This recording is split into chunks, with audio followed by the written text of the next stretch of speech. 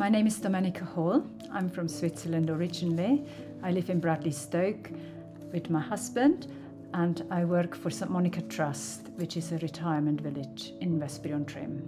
I grew up in Switzerland in a very loving home and my mum, uh, she was Protestant and my dad was Catholic, but we were raised in the Catholic faith. My first real experience with Jesus was when I was about 10 years old. That was when we took our preparation course to receive the Holy Communion, and um, we had to go for confession the day before.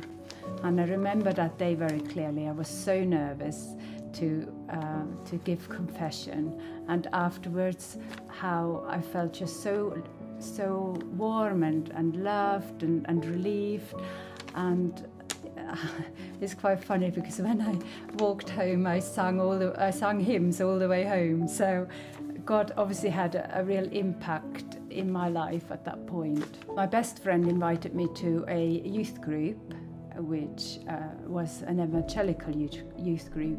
We read the Bible together, we sang, we did lots of fun things as well. It's really nice for me to go there because we didn't have any Sunday school experience at all as, at all as children. But it was also the first time that I learned that one needs to have a, make a commitment to know the Lord which obviously as a Catholic I never heard before. After a gap year in Canada, I started my apprenticeship with 17 as a chef.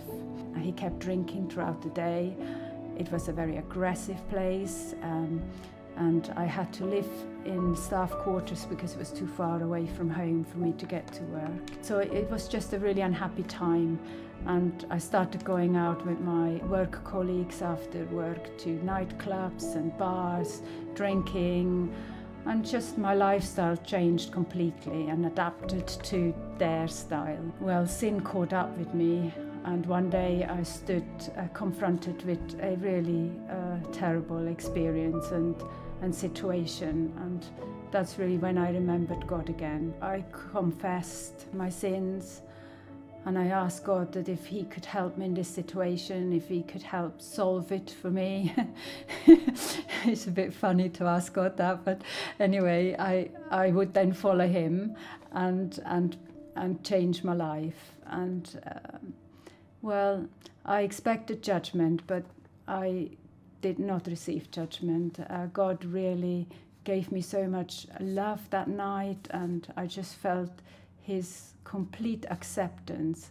And it was the first day, time I really understood in my heart as well as in my brain the sacrifice that Jesus really had done on that cross for us. I changed my life, and God changed my life completely.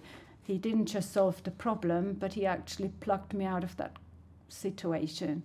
Um, he opened up an opportunity for me to transfer my apprenticeship, um, which was with my tutor, my college tutor, and I had such a good couple of years training um, and could go live at home again, which was really nice, and I could go back to church, and, and just life changed completely. And, you know, I really believe that God had answered that prayer and had taken charge. A few years later, I already had my two girls, um, but they were very small. I started with a back complaint, and that lasted for two years and the doctors didn't take me seriously. The X-rays didn't show anything up. The consultant thought I wasted his, made me feel as I wasted his time, and and it just didn't get better.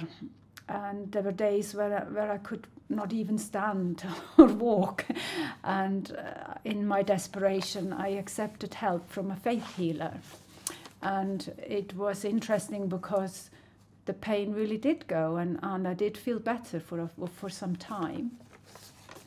But then it came back again, and um, one day I had some friends visiting, and, and, and they said, you know, we've been, we've been really praying for you, and, and we feel there's something not not right. And so I confessed my session with the faith healer. And it was literally days later when I had a hospital appointment through to see another consultant and he did take me seriously.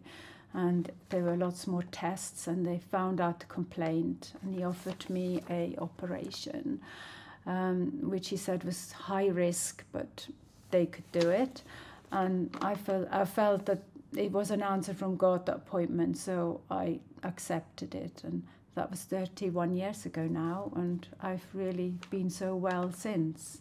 I really would like to share three significant um, verses uh, through which God has showed me his deep truth and that really have carried me through all my life since. Be joyful always, pray continuously, and give thanks in all circumstances, for this is God's will for you in Christ. I went through a time of, of real darkness um, and where I was betrayed, lied to, and hurt, um, and also subject to uh, aggression.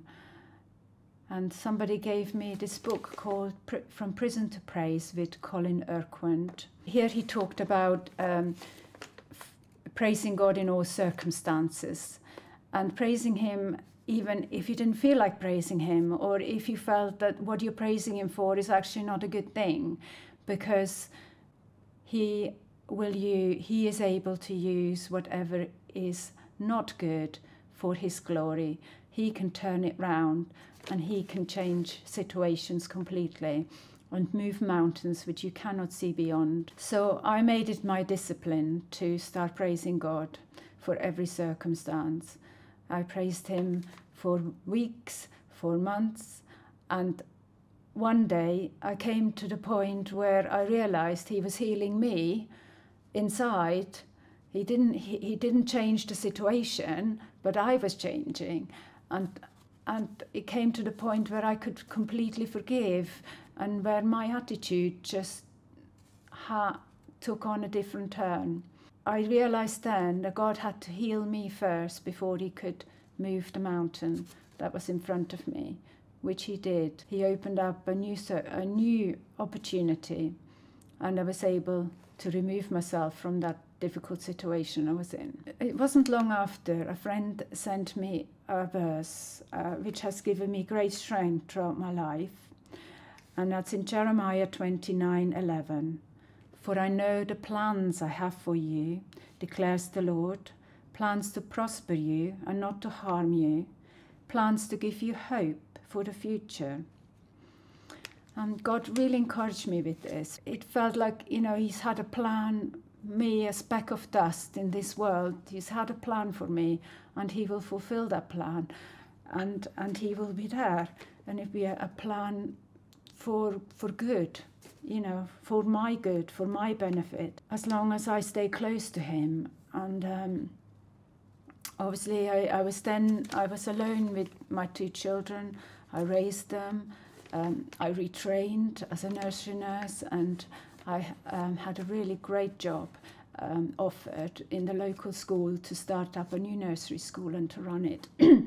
and so I did that for 10 years, and God really blessed me, really built me up as well.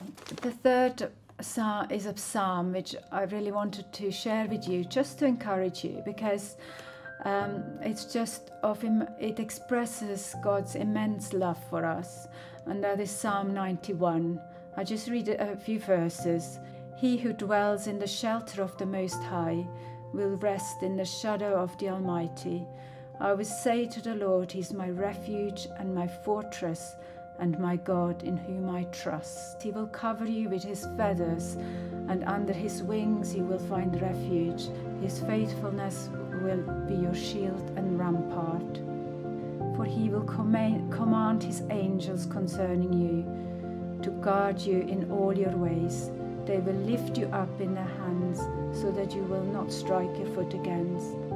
But looking back, there has never been a time in my Christian uh, journey when God has forsaken me. Even during the most difficult times, He provided me with Christian friends.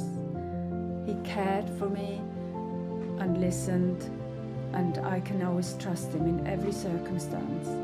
So, if you're not sure what to make of the Bible, if you think faith is just for people who want a crutch, or if you're sitting on the fence and you haven't really made that step of faith, all I can say to you that you would never regret it.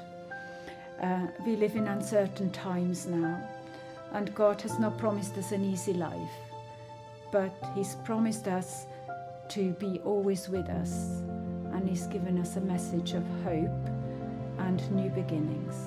And I certainly experienced that in my life over and over again.